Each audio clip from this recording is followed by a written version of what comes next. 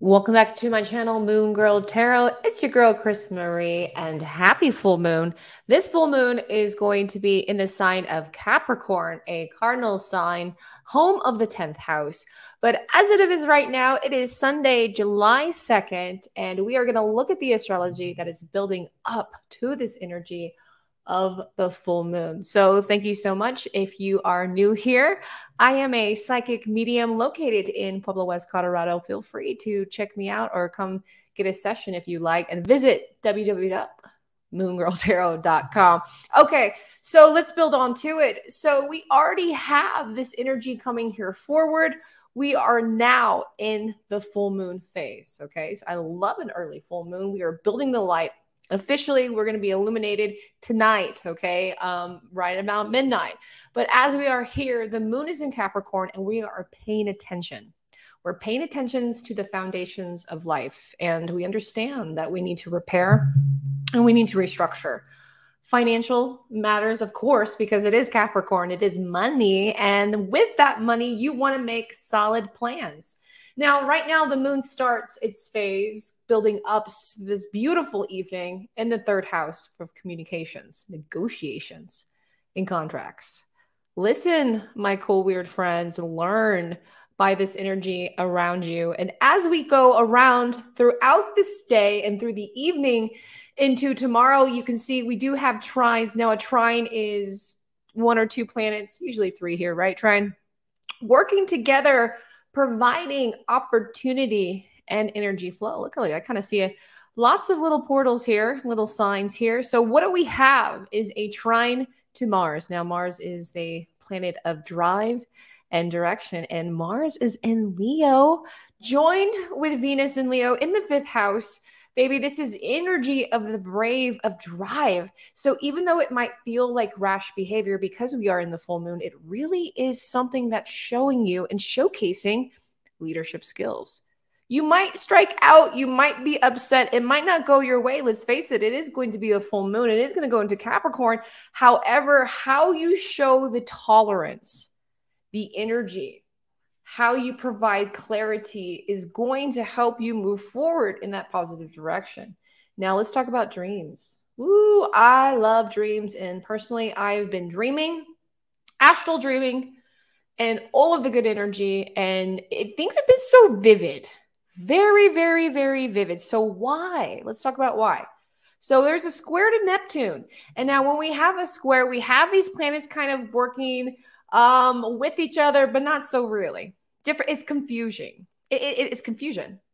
So, what is so confusing about this? But there's some good news about this as well is that in your dreams and your nervous and your anxiety and the things that are going on, your dreams right now are trying to show you the solution by relaxing, listening, showing music and showing some kind of communicating and spiritual awareness. So you might be seeing deities, you might be seeing ancestors, spirits, whatever you would like to call them.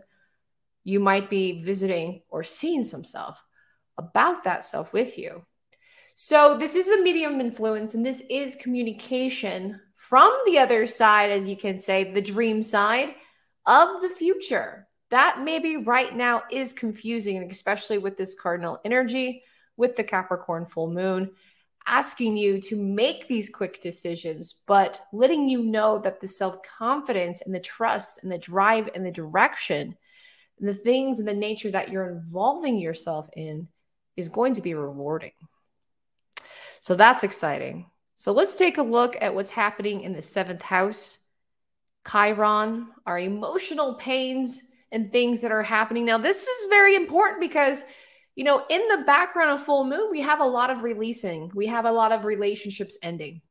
We also have separations of business, business partners. We have people changing jobs as well. So, with this energy here, there are some relationships, there are some painful memories, there are some feelings of rejection.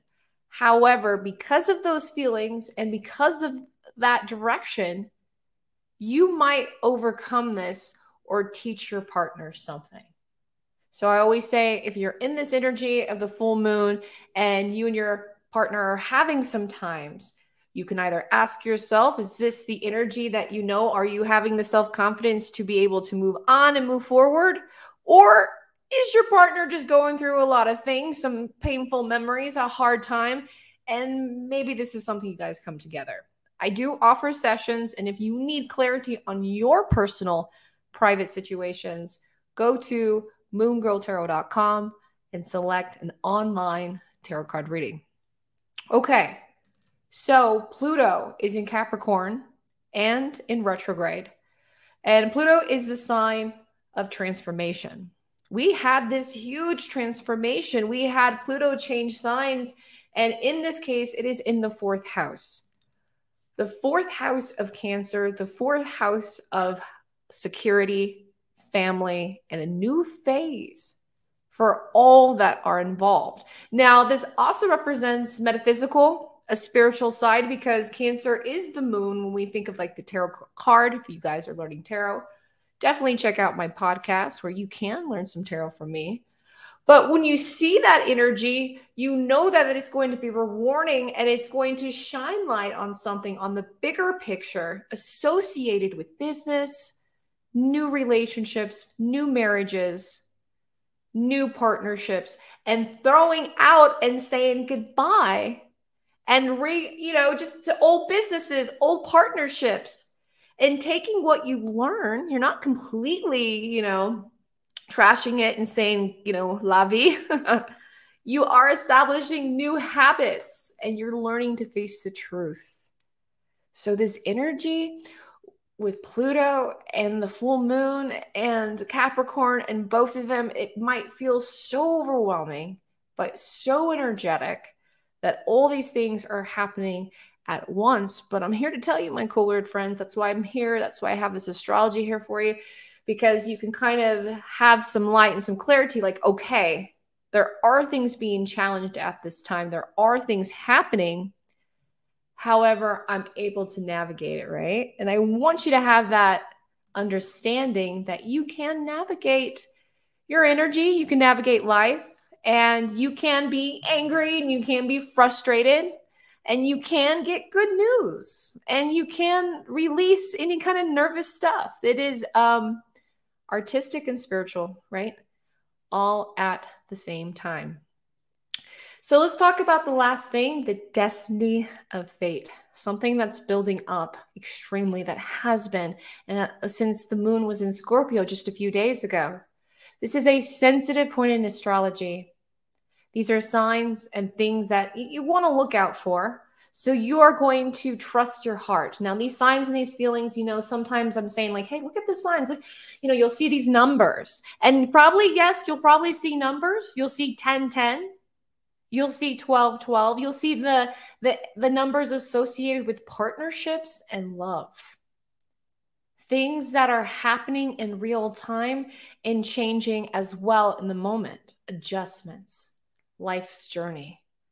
Now, life's journey and adjustments and accommodating other people's needs, this give and take, can be hard. And it's probably what's been happening a lot in this transit. So I want you to understand whatever's happening in your private life because let's face it, Capricorn, right? You know, even though you are in the public and the profession and things that are transitioning, there are some private things that you rather right? Keep to yourself. And there's some things that you would like to keep public.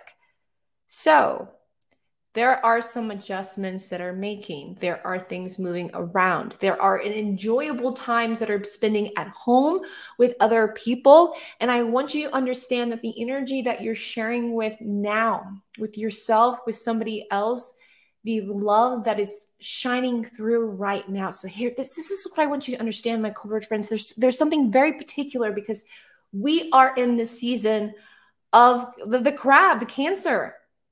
The two, they walk sideways. They have the claws. Snip, snip. and with this energy, you have support. In this Capricorn energy, in this toughness, you have support in a way where you feel like you cannot walk through. You're able to fit and go a different direction. So understand that even though these challenges, these emotions, these things that are happening, You really are getting closer to yourself, to the needs of you and the adjustments, and with your partner. Now, the sun in Cancer at the 10th degree of Capricorn right now. So that is good news. This, there are good news coming our way. People are going to be happy, right? Around, and that includes you as well. So even though things are going to be here and there and might be frustrating or you might be experiencing, understand that there is going to be support. You also need an outlet and you also need to keep yourself busy in a sense, but not too busy. Keep yourself adventurous. Understand if you do make plans or things happen, you can change them. You are an accomplishment. You are amazing.